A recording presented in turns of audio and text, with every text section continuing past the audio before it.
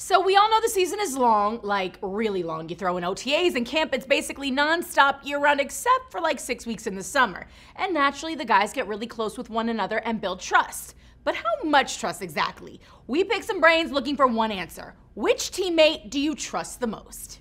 Hard to say. I trust all my teammates because we go to war together every day. Jason, just because he's good under pressure in any tough situations. That's his job. Probably Tua, uh, Vaughn, GD, not Raekwon. I trust E-Rob. That's my dog. Go to war together. Off the field, I trust Raekwon. Big guy. Scary guy. That's all I need to say.